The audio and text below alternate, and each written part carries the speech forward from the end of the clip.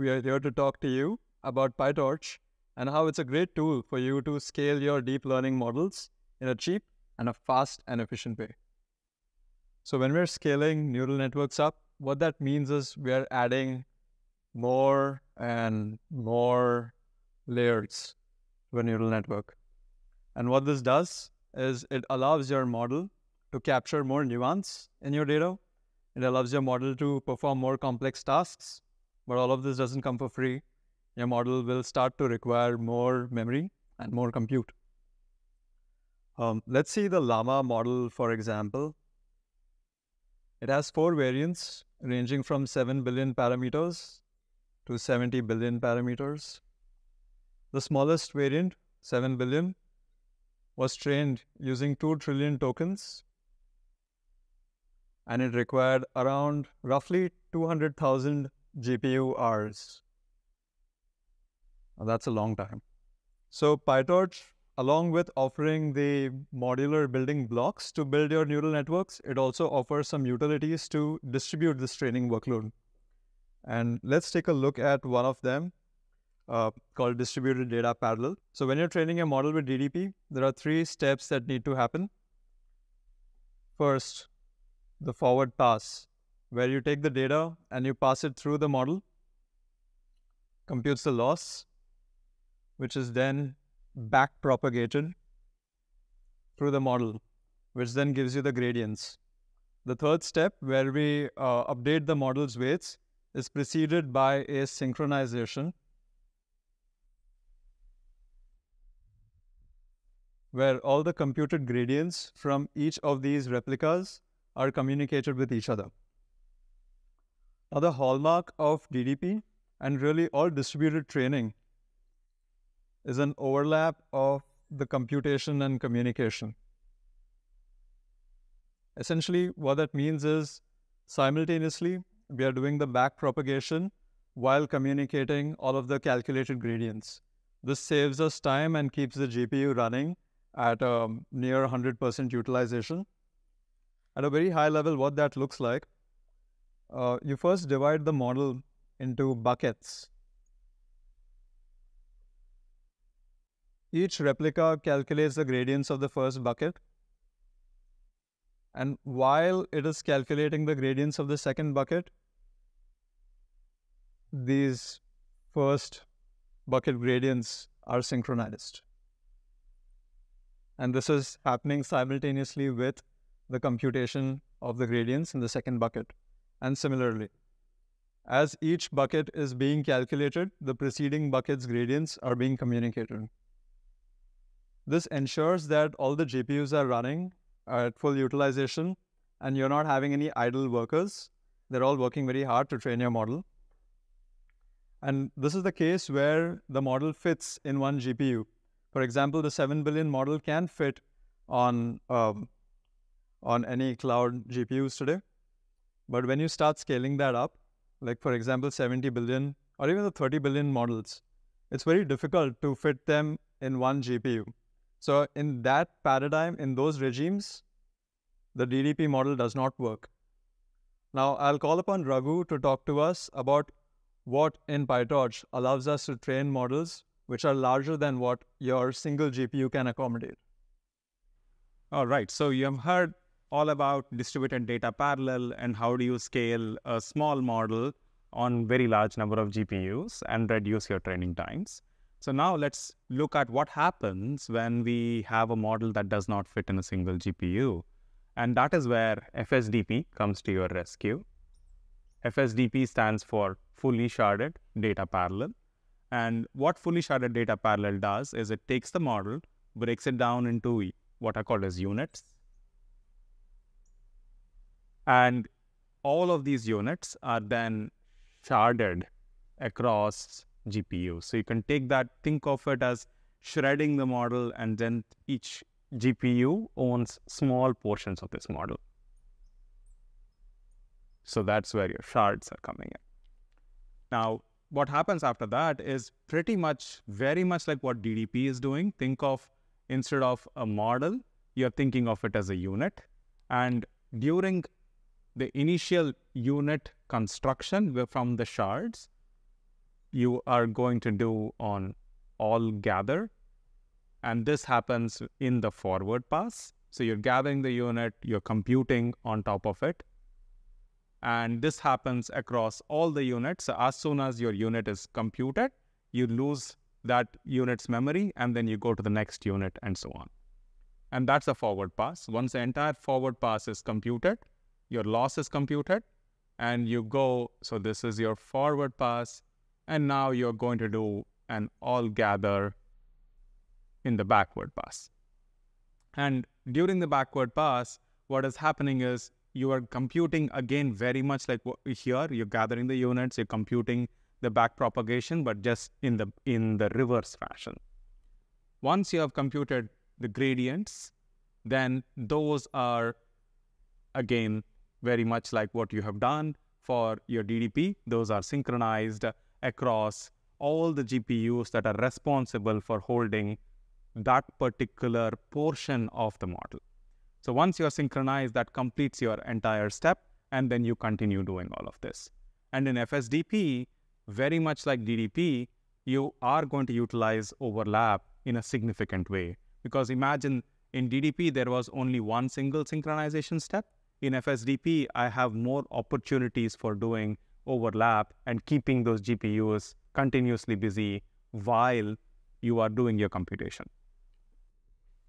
And that is how you achieve scale of these models. So what are the typical ways in which people train these large models? Uh, most of the world knows about them as HPC systems, very large scale systems with very high speed interconnects, state of the art GPUs and servers, and training these models.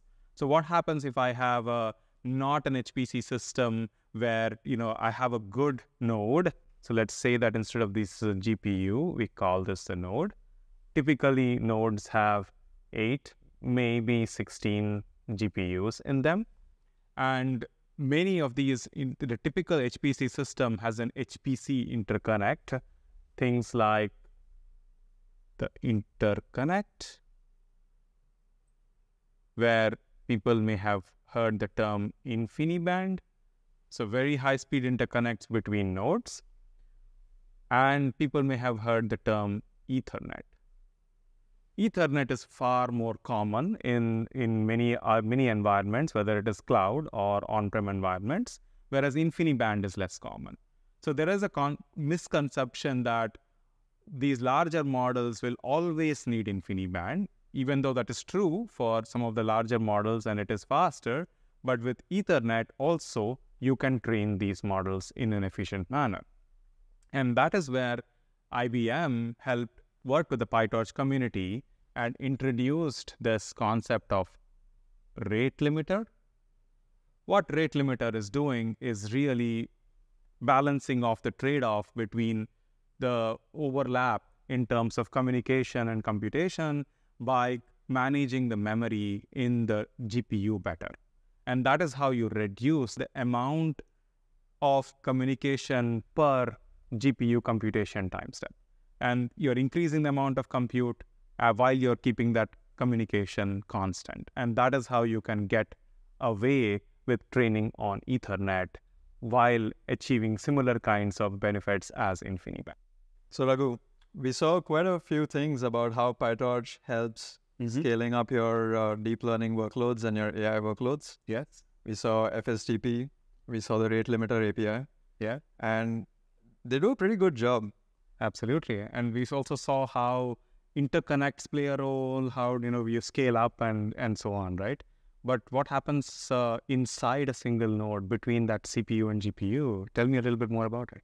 Yeah, um, you know, it's an interesting question you raise because there is some more efficiency gains that we can uh, we can obtain, and let's take a look at you know what's what's happening under the hood. So the reason, one of the reasons why PyTorch is so popular is because of its programming paradigm called eager mode. Absolutely, yes. And uh, eager mode allows developers to have a very Pythonic approach to their AI programs. Mm-hmm. It allows dynamism, like you know, you can do your if-else blocks, you can have for loops mm-hmm. within that. It's very flexible. Yeah. And uh, we already spoke about CPU and GPUs. Yeah. Um, so I'm going to draw a small little schematic over here, which sort of illustrates what's happening in eager mode. Let's say this is your CPU queue, and this is your GPU queue. And a queue is essentially the order of instructions that each chip is launching. Mm-hmm. Now, taking a step back, your AI programs or your AI models are essentially a sequence of operations. Mm-hmm. Small AI models, small deep networks have lesser instructions comparatively, and larger models have many more. Mm-hmm. So every line of code that I write in in my Python program basically translates to going to the GPU. Is that essentially what's happening? Yes, almost every line is an independent instruction that your CPU is deriving from the program. And so we can probably think of your model, the execution of your model, as a sequence of instructions over here. Mm-hmm. And because you're using a hardware accelerator like a GPU, you're going to queue up those instructions onto the relevant operations specific to the backend that you're using. Okay. So let's say you have your CUDA operations here on an NVIDIA GPU.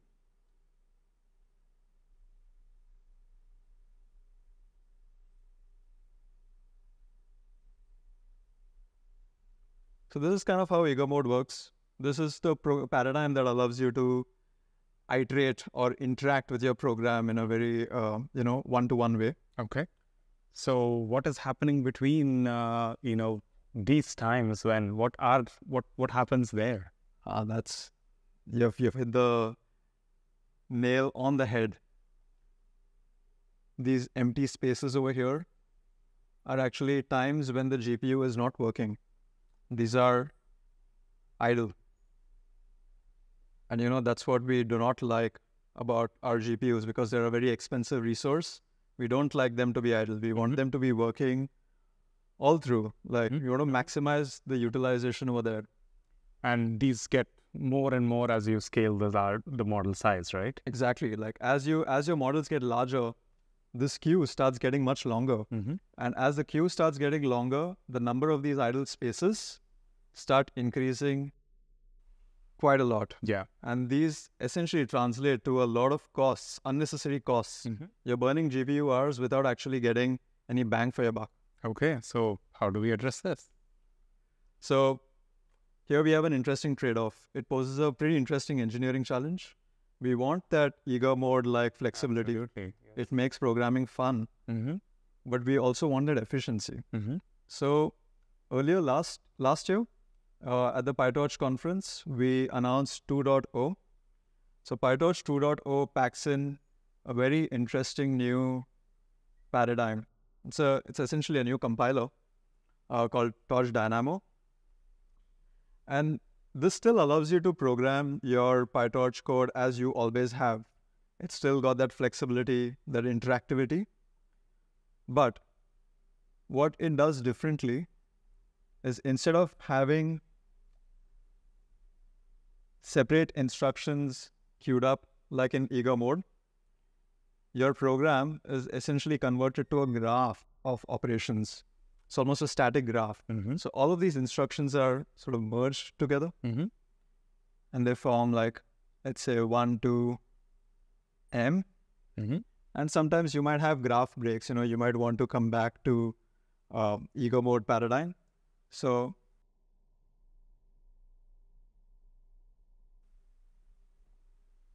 So your entire program has been translated to two instructions over here instead of many different instructions. Mm-hmm. And on the GPU, again, you're queuing up only two instructions instead of all of the n instructions over here. Yeah. And quite often, you won't even have this break. So your entire program, your entire model is just one block of Mhm. instructions, Mhm. which executes seamlessly on the GPU. That is pretty cool. And how do you actually achieve this from a programming standpoint? Like, what does a, what does say me as a developer? What do I need to do to get this? one line of code. That's wonderful.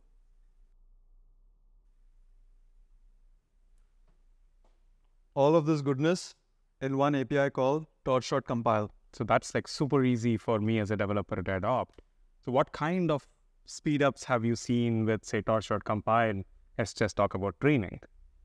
Uh, so torch.compile primarily targets training workloads and uh, depending on the architecture and the model, it varies, but we have seen speedups of at least 30 times. Wow. So that is an order of magnitude. Many orders of magnitudes Okay. of uh, on just plain old eager mode. Okay, wonderful. And at IBM, what we have been doing is to really work with the community and to look at Torch Compile from an inference lens. So, what is the beauty of Compile? I feel is that it not only works for training and giving that kind of speed up, but it actually works for inferencing as well. The same kind of gaps that you're seeing, we see that for inferencing too. Are you saying the same fundamental principle applies at inference time? 100%. It's not exclusive to just training. it's not exclusive to training. So I think Torch.compile is the new paradigm that is going to change efficiency completely across both training and inferencing. So fantastic times for PyTorch. and for the users.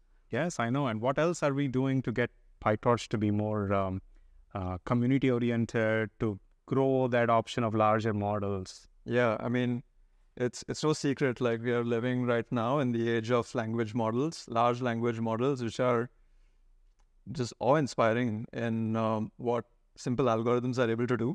Mm-hmm. Well, not so simple, but um, you're probably familiar with Llama. It's a language model from Meta AI. Yes. and uh, a lot of that code is open sourced. You know, the model itself, the weights, they're available to the community in a very permissive license. Mm-hmm. Moreover, we also have a lot of scripts available on how you can be using these downstream. Okay. Uh, there is one GitHub repository that you should check out. Okay. Um, it's called Llama Recipes. Um, so it's under the Facebook research slash Llama Recipes on GitHub. Uh, we'll add a link to to that in the video, and uh, you'll you'll notice uh, quite interestingly that they also use FSDP over there, Okay. especially for fine tuning Llama. You know, Yeah. you want to adapt all of that knowledge in that model to a particular domain or to a particular topic of interest. Yeah. So you want to fine tune it, Mm-hmm. and of course, like we already saw how uh, uh, challenging works and everything. Yeah. yeah, and how FSDP helps resolve a lot of that with an Mhm. easy to use API. And you can see that in practice at the Llama recipes repository.